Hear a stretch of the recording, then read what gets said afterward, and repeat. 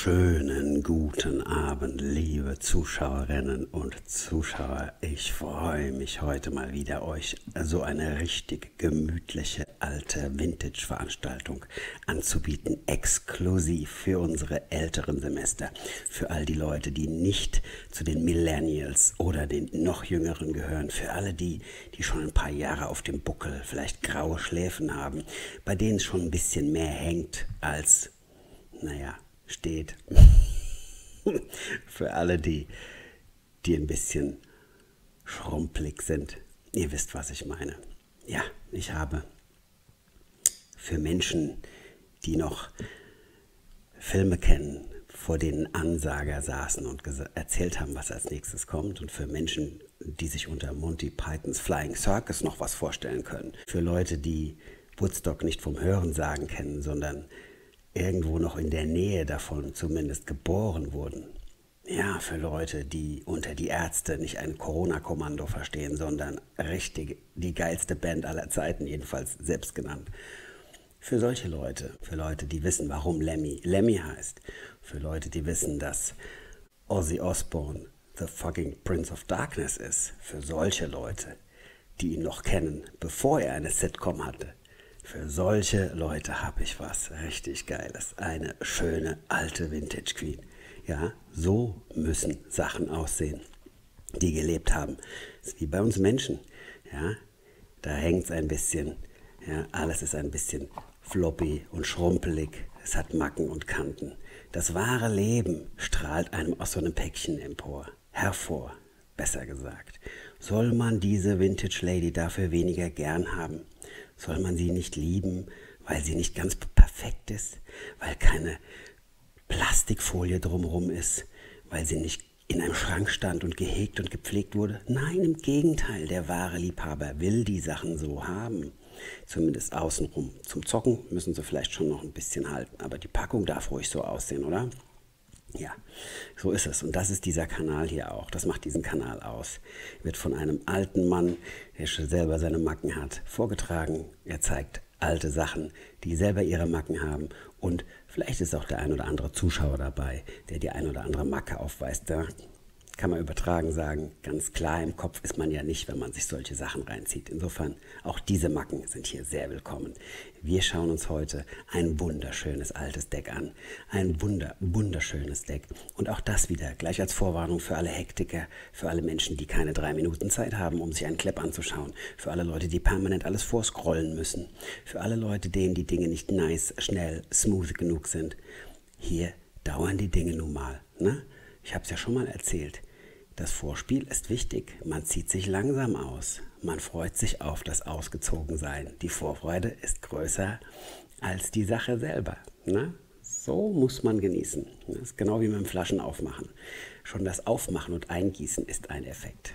Wir wollen dieser wunderbaren älteren Dame heute die ganze Liebe einer erfahrenen Hand zukommen lassen. Wir wollen sie mit ganz viel, viel Zuneigung behandeln, streicheln, ja, wir wollen sie genießen. Denn sie ist immerhin schon, schaut's euch an. Ja, muss sie ein bisschen drücken, damit sie gerade aussieht. Sie ist immerhin schon ja fast 25 Jahre alt, 24 um genau zu sein. Dieses Deck ist aus dem Jahr 1997. Ach, was für ein Jahrzehnt. Es war eines der besten, die die Menschheit je hatte. Glaubt's mir. Und es gab ein Turnier in Seattle im August 1997. Und eine Person wurde dort Weltmeister, wenn ich mich recht entsinne. Und diese Person hieß Jakob Schlemmer oder Slammer oder wie man es auch ausspricht. Ich denke Schlemmer. Er war World Champion auf diesem Turnier. Und sein Deck features a horde of fast black creatures, strengthening the speed kill out of a variety of spells from all five colors. Master the deck that ruled the worlds. Ich freue mich so wahnsinnig drauf, dass ich dieses Deck euch heute zeigen kann. Das ist ein legendäres Deck. Ein Deck, das ziemlich, gegen ziemlich geile andere Decks auch gewonnen hat. Gegen das Deck von Janosch Kühn, das ich euch schon gezeigt habe. Hier kommt der Link. Auch gegen das wunderschöne monogrüne, ähm, ausnahmsweise mal grüne Weenie Deck äh, das extrem schnell und aggressiv war von Sven Gerzen, das ich auch liebe, das ich euch hier verlinke. Und somit fehlt nur noch ein einziges Deck aus der 97er äh, Weltmeisterschaft. um das Turnier nachspielen zu können. Und ausgerechnet das, das fehlt. Ist ziemlich teuer und ich bezweifle, dass ich es je bekommen werde. Aber immerhin, ich habe drei Decks, das kann man schon mal turnierartig schön spielen und mit ein paar Freunden zusammen. Ich freue mich besonders deswegen, weil ich den guten Jakob vor kurzem kennenlernen durfte, persönlich. Denn es ist eine dieser Geschichten, die kann man eigentlich gar nicht glauben. Das ist so verrückt. Ich habe ein altes Display auf äh, Card Market eingestellt. Ich habe es schon mal erzählt und nicht geglaubt, dass es verkauft wird. Es war ein Invasion Display, Booster, Englisch. Und es dauerte keine vier Tage. Da hieß es plötzlich, das Ding ist verkauft. Und als ich dann die Adresse gesucht habe, um die aufschreiben zu können, um den Versand zu regeln, stand dort, ja, ihr werdet es nicht glauben, Jakob Schlemmer der Weltmeister von 1997, der mein Invasion Display gekauft hat. Und ich habe natürlich gleich angeschrieben und gesagt, das ist ja Wahnsinn. Ich freue mich, es ehrt mich, es macht mich glücklich, äh, dieses Display in deine Hände zu geben. Entschuldigung, es war kein Booster-Display, es war, ich muss mich korrigieren, ein Turnierpackungsdisplay, Tournament Packs. Und ja, er sagte äh, ganz seinerseits, er freut sich drauf. Er äh, hat aufgehört mit Magic vor vielen Jahren. Er hat auch diese Sachen nicht mehr, nichts von damals hat er. Weder die noch die Originaldecks, alles davon weg. Und dann habe ich ihn gefragt, was er eigentlich in der Zwischenzeit gemacht hat. Und sagte, er hat Bridge gespielt. Und damit kann man wohl auch sehr erfolgreich äh, äh, international konkurrenzfähig spielen. Und jetzt will er mit seinen Jungs ein bisschen draften und wieder so ein bisschen die Zeit von damals nacherleben. Und deswegen hat er das Display gekauft. Und ich habe ihn gebeten, äh, mir doch bitte ein signiertes Bild zu schicken oder zumindest ein Foto mit ihm und dem Display und das hat mir sogar zugeschickt. Aber das will ich als ähm, ja, private Sache hier behalten und nicht groß rumschicken, ähm, weil ich weiß nicht, ob ihm das recht wäre. Für mich persönlich, ich habe es ausgedruckt und steht in meiner Sammlung. Es ist total lustig. Also, Jakob Schlemmer, der hat von mir das Display gekauft und ich darf heute dieses Deck in Händen halten, das er gebaut hat, um damit die Weltmeisterschaft 1997 aufzumischen. Und da die Karten in diesem Pack drin waren, da fehlen ja sogar die Laschen, ja, habe ich etwas getan, äh, damit ich es auch spielen kann. Ich habe das Ganze nämlich ein kleines bisschen modernisiert und zwar in dieses Pack gepackt. So sehen die bei mir aus, die Dinger. Ich habe mittlerweile 14 Stück. Äh, alle werde ich nicht kriegen. Es gibt mittlerweile Decks, etwa das von Kai Buddha, die kosten 500 und mehr Euro. Äh, auch andere Decks sind extrem teuer geworden, was mit den Karten zu tun hat, die da drin sind. Leider gibt es auch mittlerweile auch einen Spekulationsmarkt für die goldrandigen Karten, weil vielen aufgefallen ist, dass die nicht goldrandigen Originale unbezahlbar geworden sind und deswegen kaufen die Leute jetzt die goldrandigen Karten, weil man die ja zum Teil in einigen Formaten spielen darf. Insofern werden die attraktiver. Ich sammle die ganzen Decks, weil ich die zocken will, ähm, mit meinen Freunden. Da gibt es einige, auf die freue ich mich schon sehr. Also eingepackt habe ich sie und ihr wisst ja auch, ich packe die entweder in goldene oder in diese beigen Sleeves, weil ich finde, die harmonieren wunderschön mit dem Deck. Das sind so weihevolle Momente. Es gibt ja für mich fast nichts Schöneres, außer alten Packungen aufreißen ähm, und alte äh, Booster entkleiden ähm, gibt es für mich fast nichts Schöneres, als die alten Sammelboxen aufmachen und diese alten Decks. Das sind die eigentlich geilen Sachen für mich persönlich. Ich weiß, es gibt Kanäle, da ist das eine vollkommen uninteressante Vorstellung, sich sowas anzuschauen. Aber für mich ist das absolut eine Zeitreise in meine Jugend. Ich habe es euch ja schon oft erzählt. Ich habe so um 94, Ende 94, 95 angefangen zu spielen. Ich hatte als junger Spieler auch Beta-Karten in der Hand und besessen, äh, allerdings nur ganz wenige Unlimited und so. Revised war dann das erste Set, das man richtig viel viel hatte. Äh, dann halt vierte Edition, vor allem die deutschsprachigen, äh, deutschsprachige Revised und dann natürlich alle Erweiterungen. Und dann habe ich irgendwann um Exodus herum aufgehört. Aber diese Zeit, das war tatsächlich die Zeit, in der ich viel gespielt habe. Das heißt, ich kenne die Karten und die Sets aus dieser Zeit und ich erinnere mich an den Hype. Und ich hatte solche Karten auch goldrandig in meinen Decks, denn bei uns war das damals schon erlaubt. Ähm, ich habe sehr viele solcher Sammlerprodukte in letzter Zeit gezeigt und aufgemacht. Wenn ihr Lust habt, schaut es euch mal an in meinem äh, Vintage-Blog. Äh, unter anderem jetzt zuletzt die Box Garfield vs. Finkel. Die kann ich euch auch mal hier zeigen. Und es kommt sehr bald auch die Beatdown-Box und andere großartige Sachen. Aber jetzt sind wir noch bei WCD-Decks und wir sind immer noch mitten in den 90ern. Und die Jungs haben letztens geschrieben, kannst du mal was anderes als Ice Age machen? Okay, ich kann, mache ich. Alles klar, ich liebe halt Ice Age, aber versprochen, es kommen noch viele andere Dinge. Hier hat ein bisschen was gefehlt bei diesem Deck, unter anderem leider das muss ich dazu sagen, diese Decklist, die habe ich mir also mit meinem Drucker selber ausgedruckt und vor eine Ebene geschoben, einfach nur damit man nochmal einen Überblick hat. Aber alles andere ist vollständig. Also, Jakob Schlemmer, der Weltmeister, war ein damals 22 Jahre alter Computeranalyst aus Prag. Der lebt er übrigens heute noch in der Tschechischen Republik und er war nicht wirklich glücklich mit seiner 3 zu 4 Performance im Standard damals Da haben wir natürlich auch Decks gesehen, die deutlich stärker waren, äh, 6 zu 1 Siege und so Geschichten gemacht haben, aber es kam, er kam durch oder er brach durch in der Elimination Round. Da war es dann entscheidend. Da hat er die Siege eingefahren und es war am Ende ein schwarzes Sweeney-Deck. Das habe ich mir genau angeschaut. Das stimmt tatsächlich. Es ist fast ausschließlich schwarzes Sweeney-Deck, aber es hat die Möglichkeit, alle fünf Farben sozusagen reinzuspritzen, ein kleines bisschen sozusagen überall den Finger reinzustecken, weil es, äh, das ist sehr, sehr cool, äh, sehr viele Länder hat, die Mehrfarbigkeit erlauben. Und es sind Kreaturen drin enthalten, die viele Effekte haben, darunter unter anderem Manowar aus Visions, den ich sehr liebe, den ich auch selbst in meinen Bounce-Decks noch gespielt habe bis vor kurzem, der auch gereprintet wurde ein paar Mal, Octavio Orangutan und den Nekratal, der natürlich eine legendäre Kreatur ist. Ähm, und entsprechend seht ihr aus dieser Zeit alles, was Rang und Namen hat. Ihr seht Sümpfe aus der fünften Edition, eine Menge Länder, die mehrere Farben erlauben, darunter die City of Brass, die natürlich aus Arabian Nights im Original ist, aber hier aus der fünften Edition die Gemstone Mine aus Weatherlight, ist Sulphurous Springs ursprünglich aus Ice Age, hier ist fünfte Edition, genauso der Underground River und das Undiscovered Paradise aus Visions. Das sind alles Länder, die dem Deck ermöglichen, über die schwarze Weenie-Logik hinaus bestimmte Farben einzubauen. Ziemlich genial konstruiert. Und dann finden wir hier das Who is Who dieser genialen Mirage-Zeit, nämlich dem Mirage-Karten Shadow Guild Mage, ähm, Choking Sands und Ebony Charm, Forsaken Waste ist eine tolle Rare, die ich auch, glaube ich, hier schon mal in der Sammlung gefunden habe, gekauft habe. Und darüber hinaus Karten aus demselben Block, nämlich aus Visions und Weatherlight, darunter eben Nekratal, wie ihr seht hier, oder Manowar, tolle Karten und den Octavio Orangutan. Äh, da Alliance es noch nicht so weit her war äh, und noch 96 erschienen, in die Zeit passte, durften die hier auch reingenommen werden. Da finden wir die Dystopia, auch zuletzt gezeigt in dem Video zum Alliances Preisentwicklung und das Exile. Beides, wenn ich es richtig sehe, Rares. Oh, Contagion haben wir auch hier drin super coole Karten und ich freue mich extrem drauf, mit euch jetzt dieses Deck anzuschauen. Und ihr seht, dieses Deck hat tatsächlich auch schon gelebt, genauso wie natürlich die Außenverpackung. Dieses Deck wurde gespielt, es wurde ohne Folien gespielt, aber damit wir es die nächsten 20 oder besser 24 Jahre auch weiterhin ähm, noch konsequent spielen können, habe ich es jetzt mal eingefolt, damit wir Spaß damit haben oder gefoilt, besser gesagt. Und hier die zwei, auf die möchte ich nochmal gesondert verweisen. Diese beiden Freunde erfreuen sich aneinander wie man auf Lateinisch sagt. Ich würde sagen Atergo. Und der Große hier vorne, der will sie wahrscheinlich bei ihrer für die Öffentlichkeit nicht bestimmten Tätigkeit unterbrechen. Was ist so geil an dieser Karte, außer der Optik und dem legendären Bild? Eine 3-Mana-Karte für 2-2, schon mal ein guter Preis, Summon Ape. Und was macht der, wenn der ins Spiel kommt? Zerstöre ein Zielartefakt. Das finde ich schon mal ziemlich geil. Ich liebe Karten, die solche Effekte haben.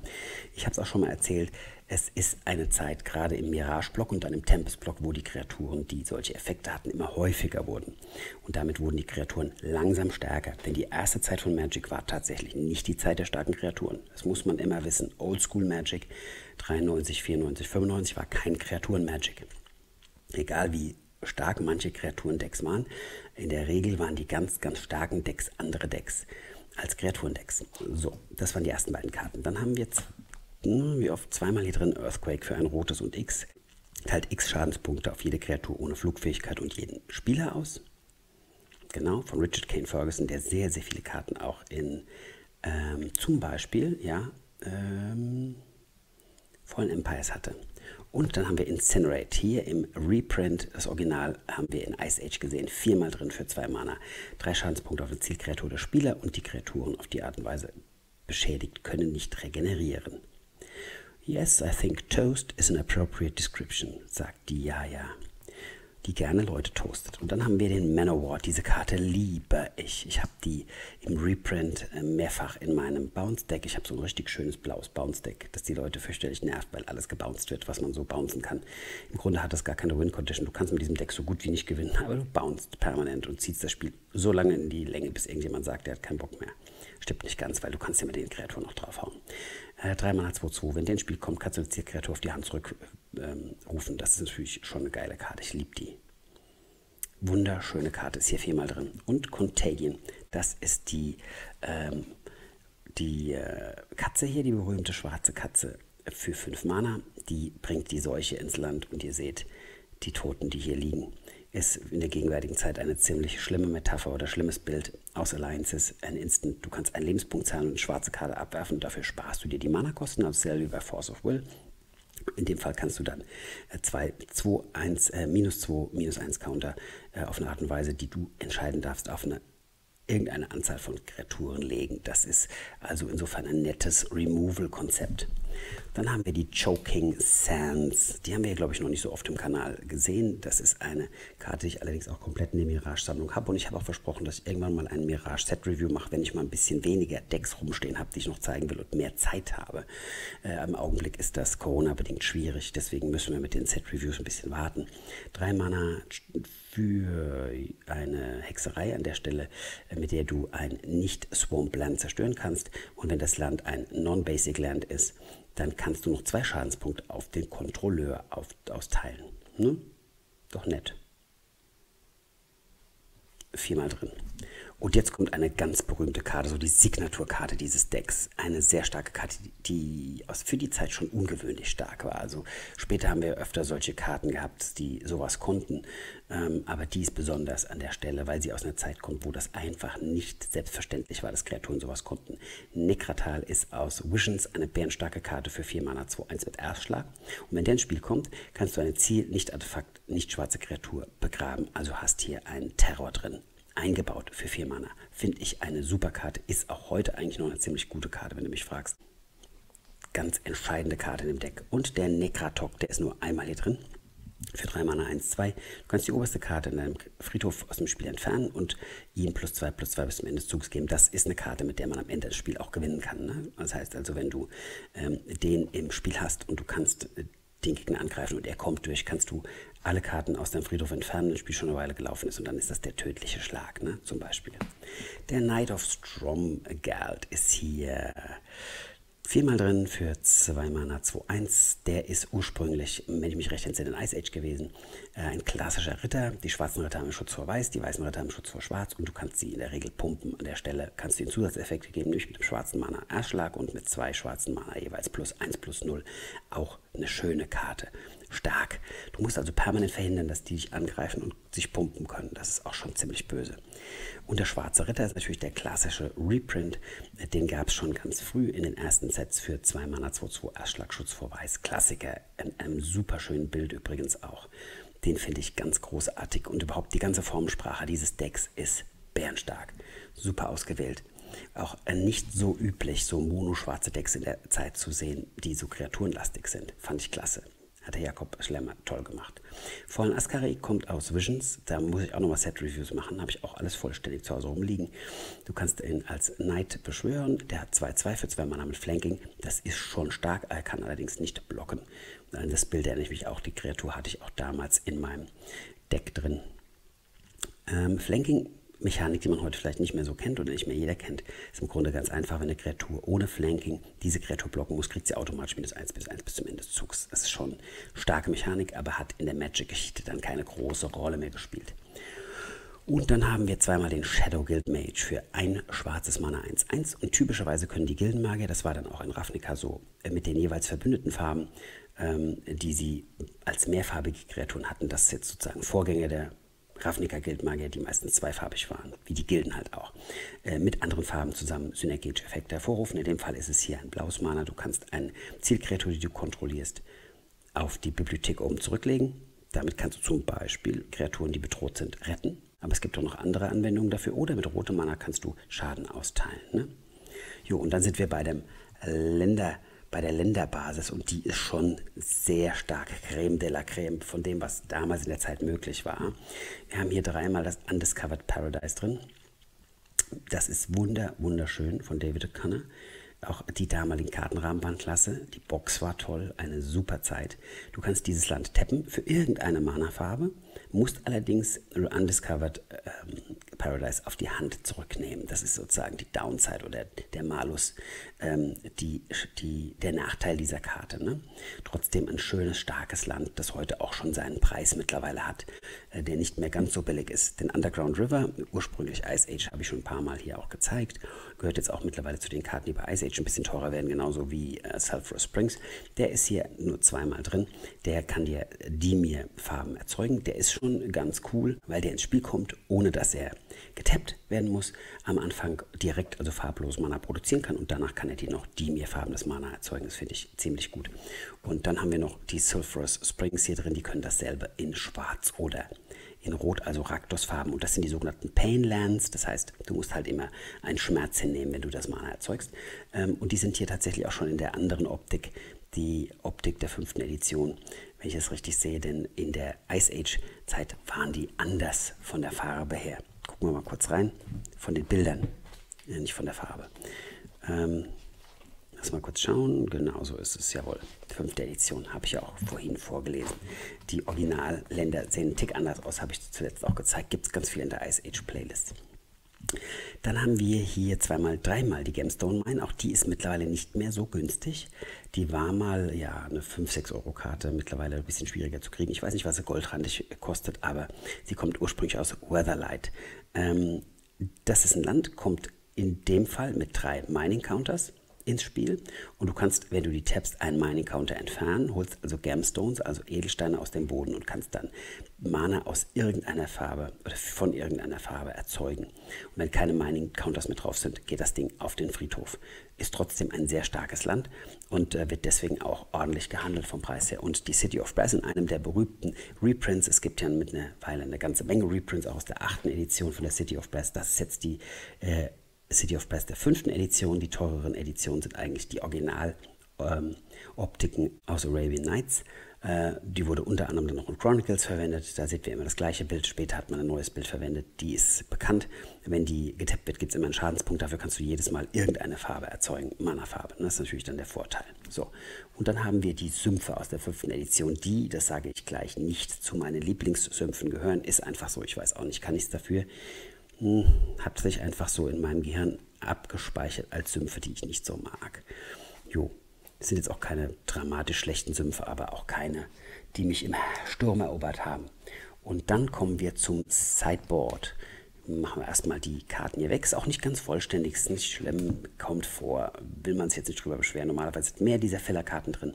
Hier sind jetzt äh, nur noch fünf dabei, aber wie gesagt, ich habe dieses Deck auch wirklich sehr, sehr günstig erstehen können. Also bin ich jetzt gar nicht sauer drüber, dass das ein paar Mängel hat, aber so ist das ja, wenn man so alte Damen äh, kennenlernt. Die haben alle ihre Mängel und trotzdem sind sie liebenswert, nicht wahr? So, und äh, dann kommen wir zum Sideboard. Da finden wir einmal Exile für drei Mana. Das ist eine geile Karte. Nach der wurde übrigens auch das Exil später benannt. Das ist das erste Mal die Verwendung des Begriffs Exile überhaupt in Magic. Und das war in Alliances. Du kannst eine nicht weiße angreifende Kreatur aus dem Spiel direkt entfernen und kriegst so viele Lebenspunkte, wie die Kreatur Toughness hatte. Ist eine starke Karte, kann man nicht anders sagen. Ist bis vor kurzem noch eine günstige Euro-Bereich-Karte gewesen. Was sie jetzt kostet, weiß ich nicht. Sie gehört auf jeden Fall nicht zu den Karten, die auf der Alliances ja, Chase-List ist, wie man das modern äh, deutsch neusprachig sagen würde. Ähm, trotzdem, ich finde sie äh, genial, die Karte. Dann haben wir Honorable Passage aus äh, Visions, auch eine super Karte für zwei Mana. Du veränderst allen Schaden auf dich oder eine Zielkreatur aus irgendeiner Quelle. Wenn die Quelle rot ist, kriegt der Kontrolleur dieser Quelle einen, den gleichen, die gleiche Menge Schaden zugeteilt, die er dir hätte zuteilen wollen. Äh, das ist schon ein witziger äh, witzige, äh, Gegenschlag, den man damit äh, austeilen kann. Vor allem ist es ein Instant. Das macht die Sache so mächtig. Dann haben wir zweimal drin Disenchant für zwei Mana. Mit Disenchant kannst du ganz klassisch Artefakte oder Verzauberung zerstören. Das ist jetzt die modernere Optik. Das Ganze gab es auch schon in der ersten Edition, also in Alpha, in einer anderen Optik. Und das ist hier die Optik von Brian Snoddy. Und wir haben den, jetzt habe ich, glaube ich, gerade eben an die Kamera gekommen, aber ich glaube, es ist nichts passiert. Wir haben den Pyro Blast für ein rotes Mana, ein Klassiker. Counter Target Spell if it's blue or destroy target permanent if it's Blue. Das ist also die klassische äh, rote Counterkarte gegen Blau. Ähm, und die gibt es nochmal in Blau. Die macht sozusagen dasselbe gegen Rot. Die hast du deswegen auch im Sideboard, damit du guckst, wie es auf den Gegner äh, passt. In dem Fall kannst du einen roten Spruch countern und ein rotes Permanent zerstören. Beide Karten für ein Mana jeweils bärenstark, halt sehr spezifisch und deswegen hat er es im Sideboard, dass er sich gegebenenfalls äh, ins Deck mischen kann, wenn er ähm, den passenden Gegner hat. Super coole, super coole Karten. Dann haben wir Dystopia. Die Karte habe ich zuletzt auch besprochen in meinem Ice Age, äh, in meiner Ice Age Diskussion. Für drei Mana ein wunderschönes Bild von Ruth Thompson. Auch das finde ich ist eine Karte, die mich total an meine Jugend erinnert. Die Karte kannten wir damals und das Bild hat uns einfach äh, ja, gefesselt irgendwie. Die Bilder sehen heute nicht mehr so aus. Magic sieht heute nicht mehr so aus wie damals. Auch das finde ich bedauerlich. Heute ist Magic sehr viel detailreicher und computergesteuerter. Hat eine tolle Kunst, keine Frage, gehört immer noch zu den besten, optisch besten Spielen überhaupt. Aber damals war Magic noch so individuell und sprach die Formsprache und wirklich die Handstriche der einzelnen Künstler. Ist eine Karte, die kumulativ versorgt wird mit einem Lebenspunkt während der Versorgungsphase jedes Spielers. Muss er äh, weiße oder grüne Permanents opfern, wenn er grüne oder weiße Permanents kontrolliert. Eine sehr, sehr starke Karte. Wenn du die nicht beseitigst, dann tut diese richtig weh. Und dann haben wir noch eine geile Karte aus Mirage, die finde ich richtig großartig, nämlich Forsaken Wastes für zwei Mana. Auch das Bild ist geil von Kevin Walker. Ähm, eine Weltenverzauberung. Enchant World finde ich so cool. dass die gibt es ja heute auch nicht mehr. Die liebe ich über alles. Da habe ich ja schon ein bisschen was drüber erzählt. Unter anderem die äh, Koskun Falls sind ja auch eine Weltenverzauberung. Äh, wenn du die draußen hast, kann kein Spieler Lebenspunkte bekommen. Das ist als schwarzer Spieler teilweise, wenn du es richtig spielst, gar nicht so schlecht. Wenn du selber kein Live-Game-Deck hast, kannst damit weiß und damals auch grün unterbinden, die stark mit Lebenspunkten arbeiten. Und während jeder Versorgungsphase verliert jeder, Leben, jeder Spieler einen Lebenspunkt. Und wenn Forsaken Wastes selber das Ziel irgendeines Spruchs wird, also zum Beispiel eines Removals, dann verliert der ähm, Kontrolleur auch noch fünf Lebenspunkte. Das ist schon äh, eine sehr ähm, äh, unterdrückende Karte, eine Karte, die sehr stark auch im Control-Umfeld gespielt werden kann und eine Karte, die den Gegner sehr bestraft für Handlungen und überhaupt für seine Existenz bestraft. Dich natürlich auch, deswegen musst du schnell und aggressiv sein ähm, und möglichst viel Schaden austeilen in frühen Zügen, damit du selber nicht von deiner eigenen Karte zu viel Schaden hinnimmst. Und in so ein Deck passt die sehr schön, die erhöht den Druck natürlich massiv und ist einfach eine super, super witzige Karte, die ich auch schon mal im Flohmarktausflug gefunden habe. Und zu guter Letzt sehen wir die Charms. Die gab es in Mirage mehrmals und wir haben hier die Ebony Charm, wunder wunderschön für ein schwarzes, ein Instant, auch das ist immer stark, wenn die Sachen Instant sind, kannst du jederzeit spielen, du kannst hier in dem Fall äh, dem Gegner Lebenspunkt abziehen oder dir einen geben, also Drain Life Effekt oder du entfernst bis zu drei Karten aus irgendeinem Friedhof eines Spielers, das ist natürlich super stark in bestimmten Umfeldern, gerade wenn es äh, so Gegner sind, die stark mit dem Friedhof interagieren oder eine Zielkreatur kann nicht geblockt werden in diesem Zug, außer von Artefakten oder schwarzen Kreaturen. Und das wiederum kann zum Beispiel bei dem Nekratok ein richtig, richtig böses Ende geben, wenn du dann für einen Mana den Nekratok unblockbar machst und ähm, ihn dann, indem du alle Karten aus dem Friedhof entfernst, äh, sagen wir mal plus äh, 10, 10 gibst und dann ist das Spiel beendet.